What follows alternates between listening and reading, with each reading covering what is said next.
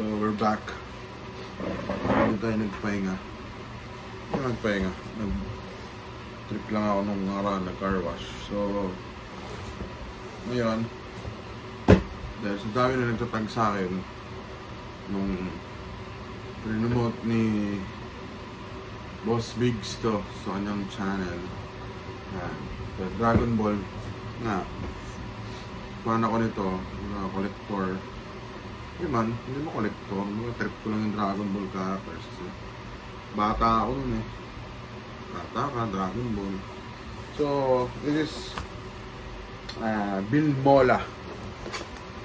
Bill Mola. Uh, Dragon Ball series. Isa lang binili ko. Go. This is ano, Rapid S model. Colorway niya Goku. So, check natin. Di ano lang to, full face. Ano lang siya.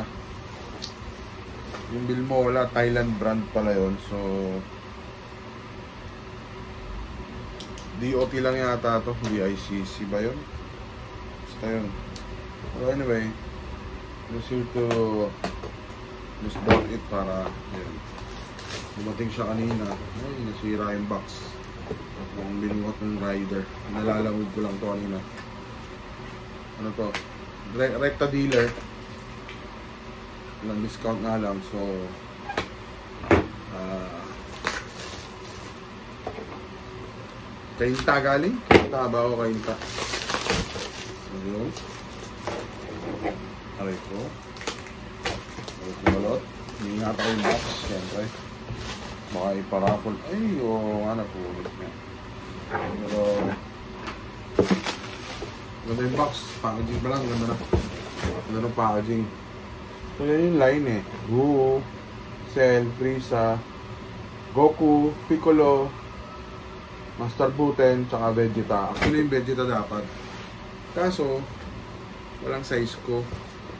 Shenron pala meron, sorry. Yung colorway na Shenron. Pala, Shenron. So, tingnan natin. Paano bubuksan to? May resibo. may resibo. Si Sir J nga pala yung nag-assist sa akin. Salamat, Sir J. Oh. Oh. Maganda nga. Iba ang laman niya. Know your helmet manual. So, tabag muna natin siya. So, yung helmet bag, yan, may Dragon Ball Z na logo. So, yung syempre, company logo. Bill, Bill Mola. May hang tag na Dragon Ball Z. Yung tali is parang yun nga, colorway ng Dragon Ball. Ganda yung bag, makapal, di, di basta-basta mapupunit. Ah. Oh, ang ganda nga. Guys, this is the Bilmola.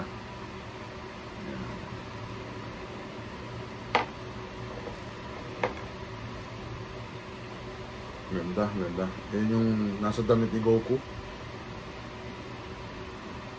Yan. Malaking tanong ay kung ICC pala. Ayan. Tama, ICC. QC packs. Ang ICC sticker naman. Nasa dot 3 nga raw. So, subukan natin. Kung kasha.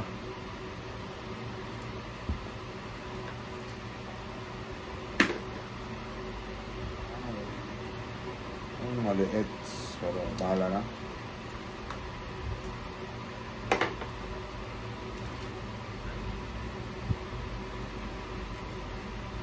Maliit mo.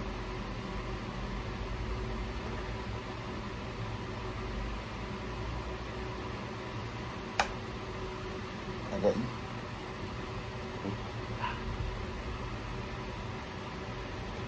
Parang maliit siya sa akin. ah. This is 2XL. Liit nga ata. Bakit ganun? Hmm, ano to? This? Emergency tab. Ah, okay. Emergency release tab. So, ayun.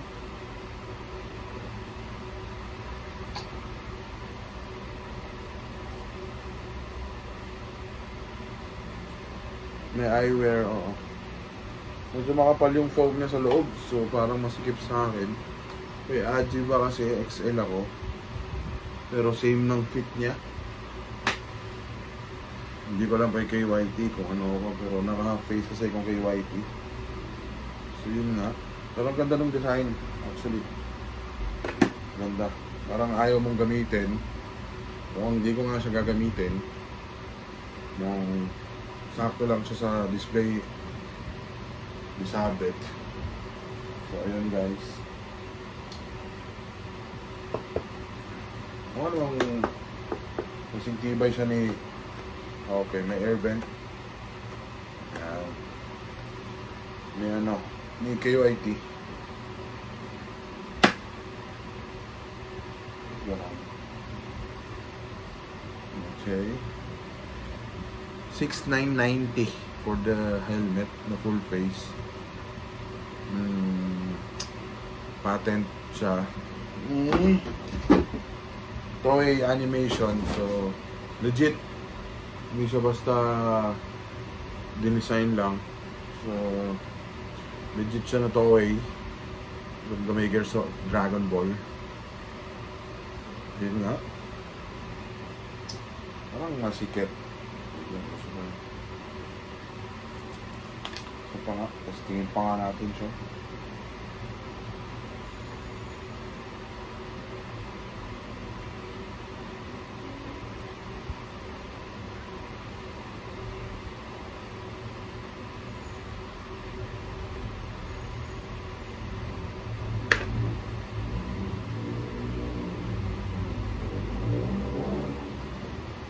Na, parang masikip siya.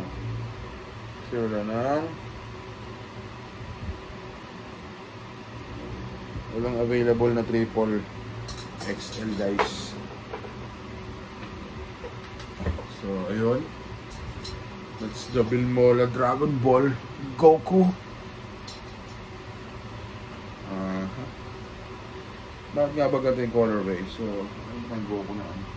Wala tayong Goku na ano eh. Natural, ah. Meron yung bata siya.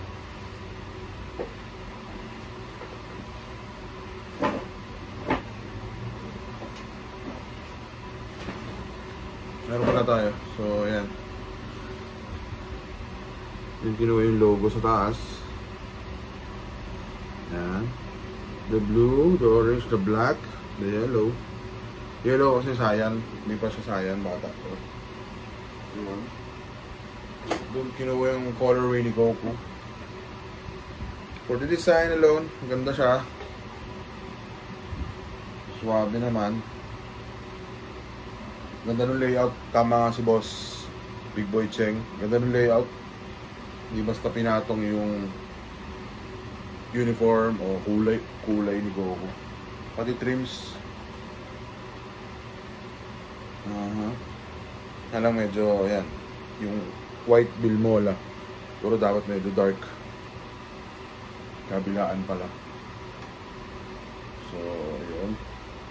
So, that's it for this quick, quick, quick, quick check lang ng nabili natin. Dahil nga, pinag ako, sinend sa akin, yung mga four people.